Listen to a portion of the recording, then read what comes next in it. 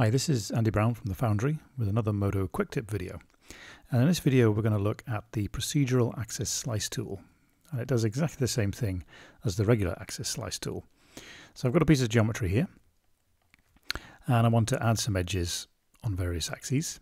So I'm going to come over to Mesh Ops, hit Add Operator, type in Axis, select the Axis Slice Mesh Operator, and then to add the slices or the edges, you can just type in the numbers over here. And if you want to move their position, you can just use the handle in the viewport. But the great thing is it's procedural, so you can go back and change things.